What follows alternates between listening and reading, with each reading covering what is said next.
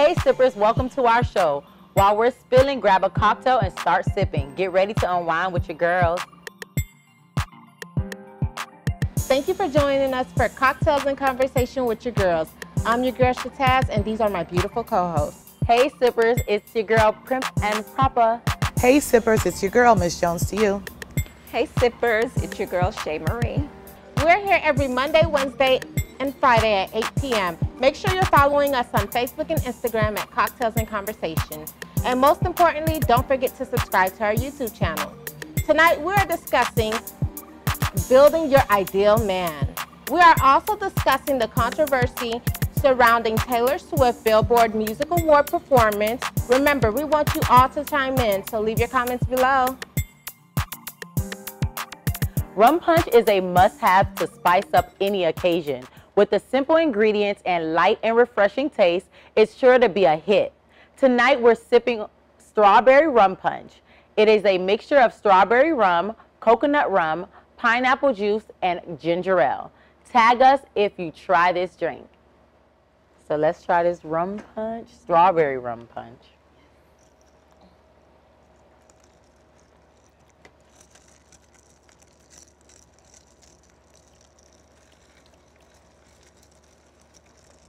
What do you think, Shatazz? I love it actually. It tastes really good. It's refreshing and um, I love it. You taste the rum, the punch, pineapples, strawberries. Mm-hmm. Mm-hmm. Oh, you It's taste really it good. all good. Yeah, you can taste it all. And I feel like you like anything with coconut and pineapple because you like pina colada. Yes, that's a so fact. yeah, this is good, and I do taste the soda too. You do? Yes, I do. I like it. I think everything mixed well together. Um, I really taste the coconut. I really taste the pineapple. I can't taste the strawberry that much, but I love it. Mine's um, is not tasty. It's not. It's not. It looks like it just was a whole bunch of pineapple juice and you threw soda on top. Is that what's in here? Yeah, soda. That's exactly what. juice. It's, that's what exactly. That's. well, I guess um, Prep likes her drink. Yeah. Yeah. get the strawberry, but we have paper straw. So um, yeah, blinds is okay, but it just tastes like pineapple juicy soda. It's, it's not really. That's what it is.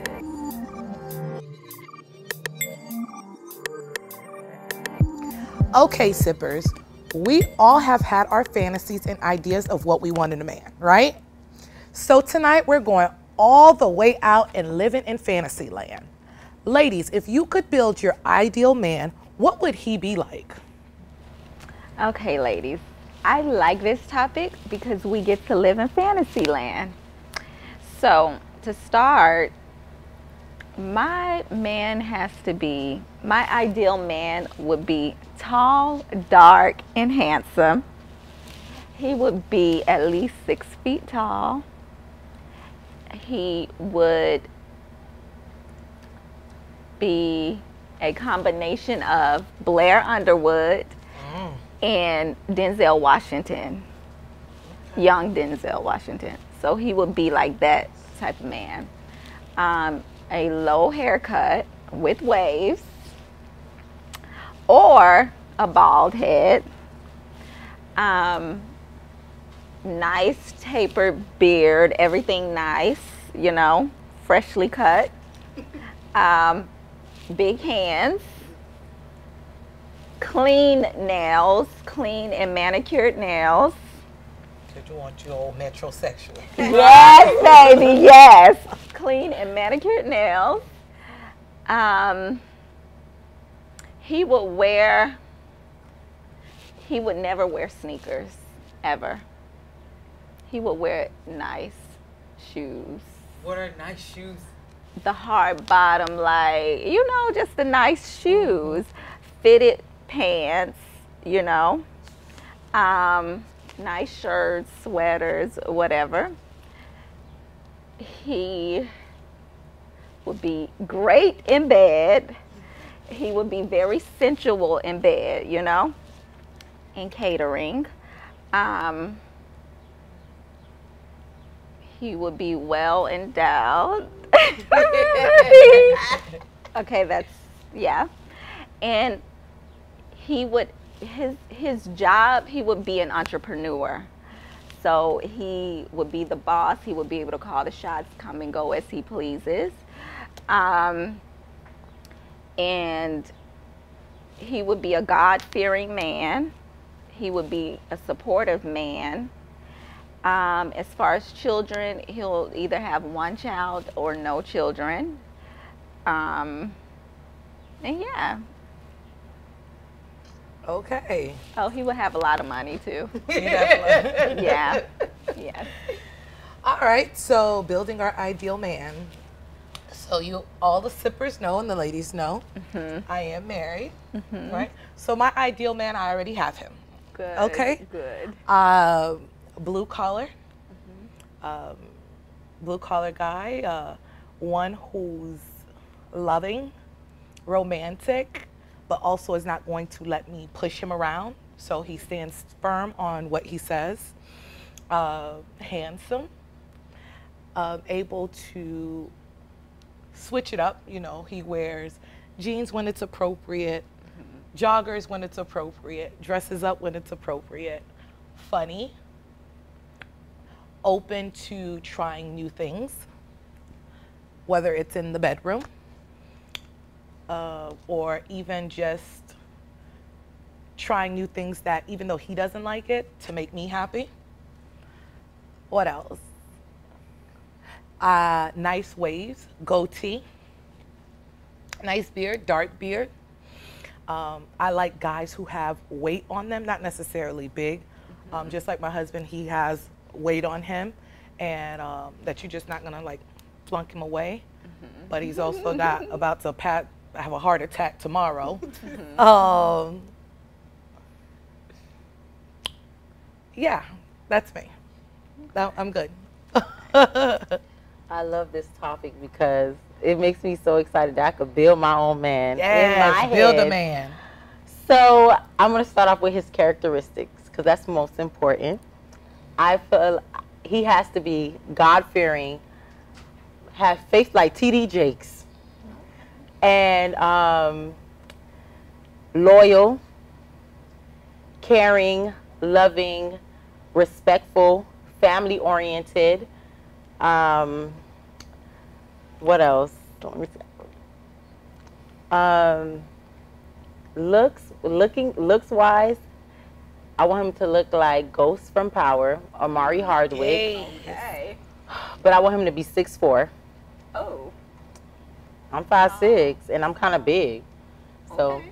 mm-hmm six four um that same body type though as omari hardwick um oh he that man is so fine y'all Ooh. um stop What about hair?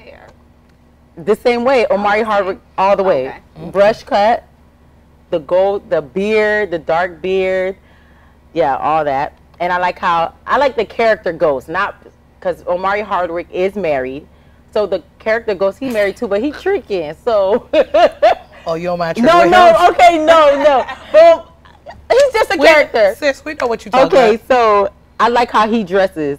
He's always in suits. He looked good in his suits, but he could dress it down sometimes. He's dressed down yes, sometimes and I good. like that, and I like that he's a boss, um, a millionaire. If we're gonna just make it ideal and worth my while, a millionaire, so I don't have to worry about nothing. Um, no kids, no mommy issues, no daddy issues. Um, a supporter and good with yeah, I already said good with kids. A mentor. So you don't want him to. Oh, oh yeah. What kind of car would he drive? It's a it's this Mercedes Benz, but I don't know what kind. How- how does I think it it's a, it has the colors inside where you can switch the colors inside of it. I think that's any Mercedes you can custom. How does No. the body look? Is it long? It's long, but that one especially, no, you can't switch the colors inside. I'm talking about the lights. While you're driving, there's lights around the car, inside the car, like it glows in the dark. So you could switch it. It's only one Benz that does that, and it's new. I think it's a C class. No, uh, CLS no, uh, or a E. I have to look it up. I forget. So, um, you, you're done? And oh yeah, I forgot. He has to be Well, really Oh, good in bed. that's what I was just about to say. Pleasing me. Very attentive to me. Does size matter? Yes. Okay. And to a certain extent. And he has to love food. He- no, like This be able to go out to eat. Like, yes. because if you want to be, I hate Yes, he wants you to cook. Yeah, we could cook sometimes too, but I like the whole thing going out, trying new food. I can't cook everything. So yeah, Job. what was it, his jobby? Job. Oh, you said a Uh, boss. a boss, entrepreneur, Okay. something clean, like maybe real estate or something like that. Buildings, not just houses. Are you own Commercials. commercial? mm-hmm God, I hope you're listening. Yes, God.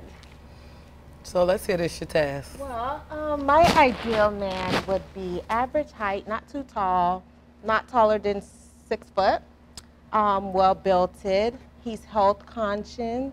He works out. Um, he's very handsome. Dark. I don't have a preference. Dark, light skinned. It doesn't matter. he like has nice all. hair. I like them all, honey.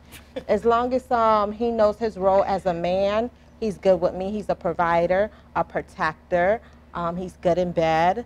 Size does matter for me. Um, and he gives me attention. He's open. He's fun, loving. He has to have one or no kids. Um, and just someone I can see myself waking up to every day. And he's God fearing. He stands for something. Um, he's intelligent. He's a hustler by nature, so his um, career doesn't matter to me if he's a CEO, if he's if he owns his own business, if he works, it doesn't matter. As long as he's a natural born, born hustler, he knows that his job is to provide. He's good with me. How does he dress? Oh, um, it doesn't matter. He can switch it up. As he can do casual. You know, it doesn't matter to me. I take whatever as long as he have he knows how to dress. What kind of haircut? I'm sorry. Um, low cut, nice hair. Doesn't. Okay. So, ladies, question. So now we've stated all these things. How realistic do you think these? no, I, come on, we gotta be. No, because I run into women. dreaming. No, You gonna bust out? no, we can dream, but I I want to say no because we got the sippers looking. We just want to say how I how realistic do you think these dreams are? Because some women, right, are single to this day because they want him to have a big big, well endowed. Let's be politically correct. Want to be well endowed. You want him to be God fearing. You want him to be a millionaire. You want him to be loving. You want him to be caring. You want him to have X, Y. Z. You, we want all these expectations. And some women are still single because they still seeking that. Yeah. So let's just say out of all the things you ladies said, let's say you listed 20, 20 everybody listed 20 things each. Mm-hmm. He had five. Five. Right now, what would it be? The five? top, oh, five. top five. Top five. You only got five. Matter of fact, forget top five. You got three. Three? That's it. no. God said, I'm going to send you that ideal mate right now. Pick three. But with only three characteristics? Three right now. He's going to come. For Go, me, go Shataz. he has a relationship with God. Um, he's a natural born hustler. And he's loving me right. There you go. So now, okay, I'm going to let everybody go. I'm going to let everybody go and I'm going to say, go ahead. Remember yours. For me, God fearing, provider. Mm-hmm. He got to be good in bed. I'm sorry. I'm sorry. Mine is God fearing, faithful, and um, a provider. Okay, so God sends you this man and he got a little old shrimp. I'm going to Because it's a I'ma be shrimp. single. it's a be it's a shrimp. Because you didn't say you didn't say he I'm going to be Some shrimps single. are big. no no we No shrimp we just had hook we just had hooks right now for lunch and they was that shrimpy. No, Some people be out there with that. no. For real. I had a shrimp. I was not satisfied. For Look real? at- I, I stopped talking to shrimp. Yes, exactly. I dumped shrimp. Shrimp was to make me history. being single, it's just like people history. want you to. They make you feel like your standards are too No, no, high, we're- we're and then you have to settle. And they always bring that up. Well, what about if you got? He's not okay. No, I'm not. we're just saying, like, you know, I, I just wanna I just want to bring it to the viewers because honestly, at the end of the day, we're not going to always have everything in the book, Yeah. right? But we can say for our demographic of men, we don't really have to worry about that, right? What? Girl, negative, negative, No. negative. They talking about? What demographic? Girl, Black men. black I said girl, black man men. got shrimps too, girl. Shrimp was a black man. But that's rare. Girl, That's rare. Shrimp was black and black. oh, black mixed with black. But that's rare. And especially if like Primp and Proper want a six four And let me tell you about Shrimp. A Shrimp six- had his thing together. Mhm. He was a provider, his own place. I mean, he was getting money. Shrimp was a shrimp. But how tall was Shrimp? Shrimp was short. Shrimp There was you about Well, no. these- Usually the short guys. No. I don't know. Now, uh, yeah, short guys do work. They be having something. Shrimp was shrimp, honey, and shrimp had it going Six, on. four. I have If no I tell you- experience with that. If I tell you shrimp name, you gonna say yes or no? Not on the show, though. Bye. No, I'm just playing. Oh no, I, y'all don't know shrimp. Okay. Yeah. I'm done. So, no, honestly, you guys, I just want to say this. You know, at the end of the day, um, your perception is your reality, but I want us to also be realistic. It's Yes. not all the time we're going to definitely find these Of people, course. but I'm not being realistic. I don't, the- what- when I say that, I'm saying to you, um, I'm saying to you that although you don't have all 20 of those things in a man, you never know by him being with you, the three can turn into 17. Because think about it. He Yeah. could not be a dresser.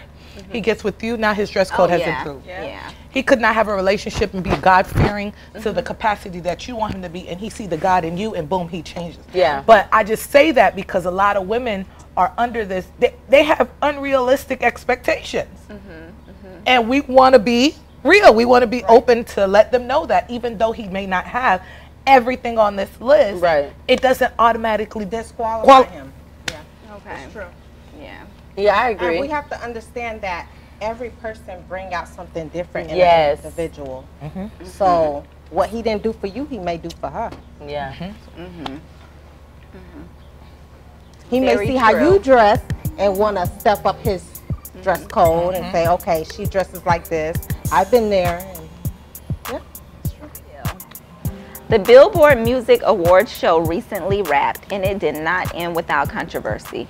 The BeyHive has been coming for Miss Taylor Swift for copying Beyonce's homecoming drumline performance. Watch Taylor's intro. Does it remind you of Beyonce's recent homecoming performance?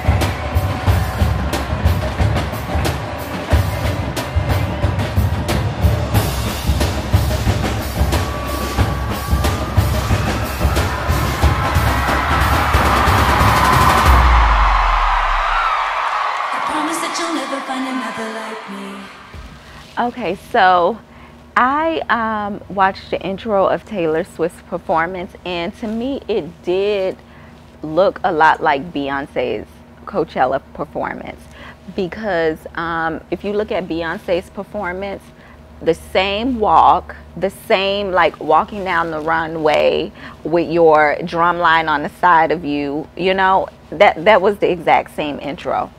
And I'm glad that there's controversy and people calling it out because it shows that this is a different age in this country and you know people nowadays are not just you know letting anything fly. I applaud the BeyHive for calling out Taylor Swift because you know with the history of this country and the cultural appropriating of you know certain people, you know, appropriating other cultures, I think that it's important that anytime something like this is done, that it's called out, especially since you have, um,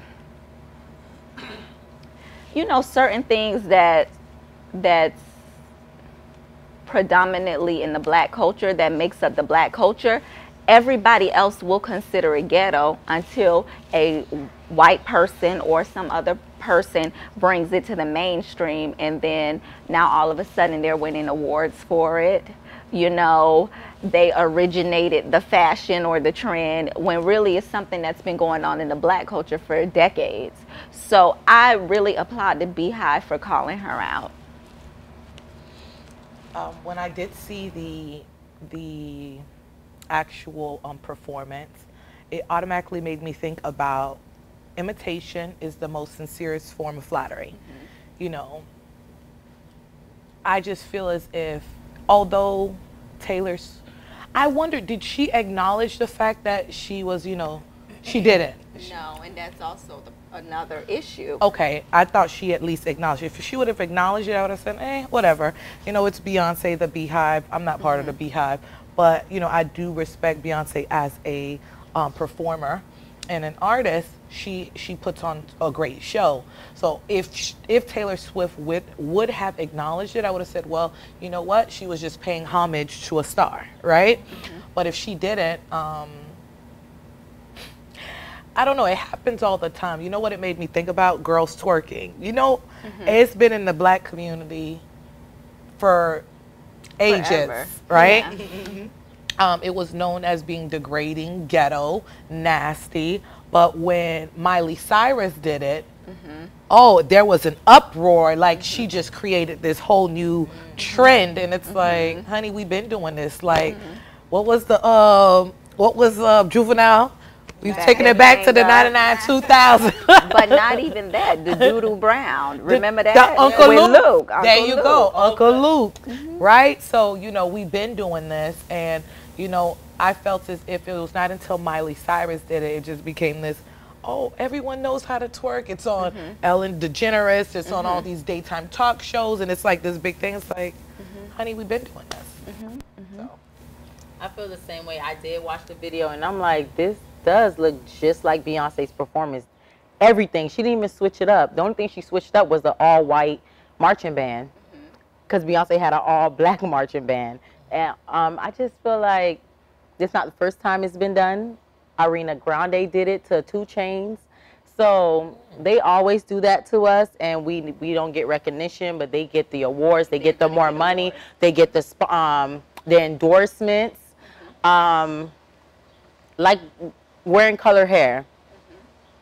When black people do it, uh, it's ghetto. Oh my gosh, why do you have all pink hair? This and that. But as soon as a white person do it, it's punkish, it's stylish, it's this, it's that, it's fashion. But soon, because I remember when I when I was like a teenager, I worked at a retirement home, and they said we couldn't wear color hair. But that's the time when Nicki came out. I had like my pink strips. It was a, a black um, wig, but it had like pink strips in the black in the back. Only one pink strip. You know, he sent me home. My manager. That same day he sent me home, a white girl came in and she had blue hair, her whole head. I said, that's not her natural hair color. Mm-hmm. He didn't say nothing to me because his argument was, that's not your natural hair color. Mm-hmm. And so, you know, it's a part of their handbook, but it's just like when a white person changes their hair color, whether it be brunette, blonde, if they're not legally blonde, that's not their natural hair color. So if you're going to send me home from not having my natural hair color, do it, have the same treatment for everyone. Because when when the wigs came out, the colorful wigs, it wasn't popular until um, Kylie Jenner started doing it. And it's just like, sis, you starting to look like us, but, and I feel like the problem is that they probably don't give us credit, but nobody's going to ever do that. They ne- never gonna. they want to make it seem like they created something. They created the wave. Mm-hmm. So I don't know. Because that's the big problem that we don't, that they don't acknowledge us, that we inspired the look. Well, hopefully one day they will start acknowledging that the African Americans created a lot of the things that they're doing.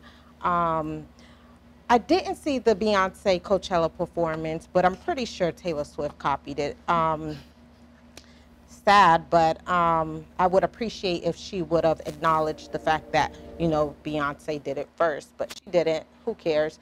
But you know who I am proud of? Lil Nas X tapping into the rock and roll and Yes. it's rocking they behinds. They hate it right now. Yes, I know African Americans started rock and roll. Is that what you're about to say? What is, oh, I thought it was a country guy. Yeah, country, Country. music, whatever. But in the Billboard, that same award show, he was up for an award. Yeah. They took him out of the country. No. And you know, it, I seen a post on Twitter that said, "Oh, y'all took him out of the country um, selection." but wasn't he top number one last But they week had Justin? Bieber and R&B, sis, and we. But um, well, I'm happy that he's doing that. And K Michelle is also getting into country music. So hopefully she blows up, she makes it big, and she can set a record for Black African Americans. Yes. You know, because it makes no sense that they're taking all of our ideals and we're not getting credit for it. Hopefully we can start doing that to them, and we'll see how the tables turned in.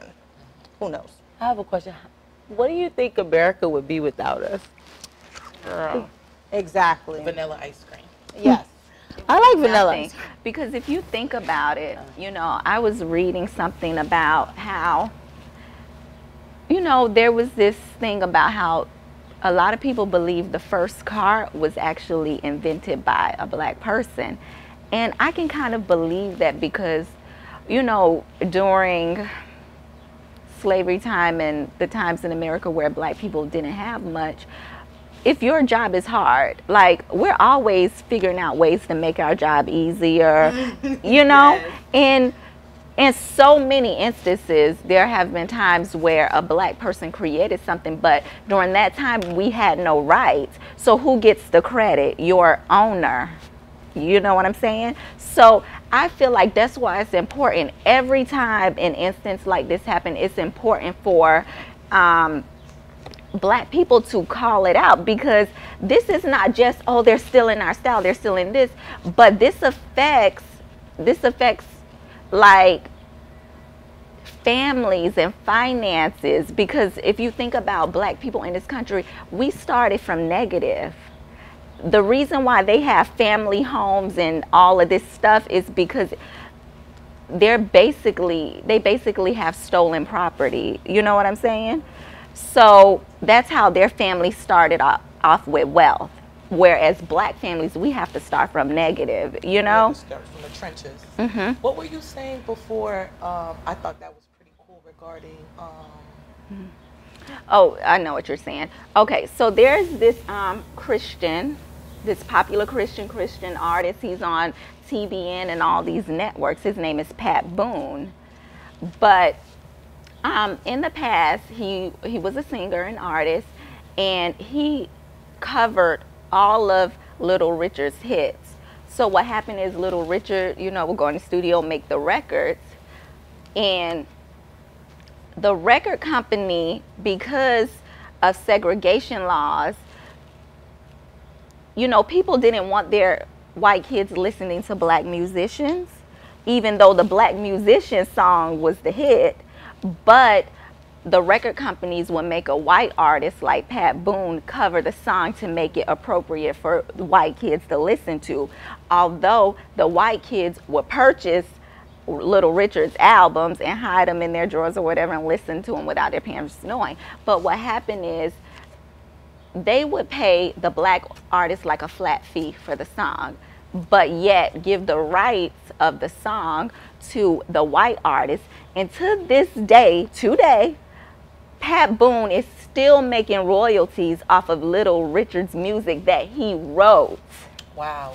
still making royalties. So his family is um, set. His family is set. All the while, Little Richard had to fight just to even, you know, own his catalog, to get his catalog back, and to um, get back pay from, you know, the record labels and stuff. So appropriation, it really can affect black people, and so it should be called out on every instance.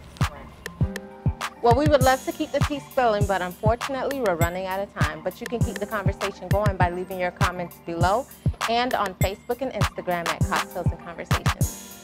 Thank you everyone for tuning in tonight. Don't forget to subscribe and follow us on social media. See you Wednesday night at 8 p.m. for cocktails and conversations with your girls. Good night.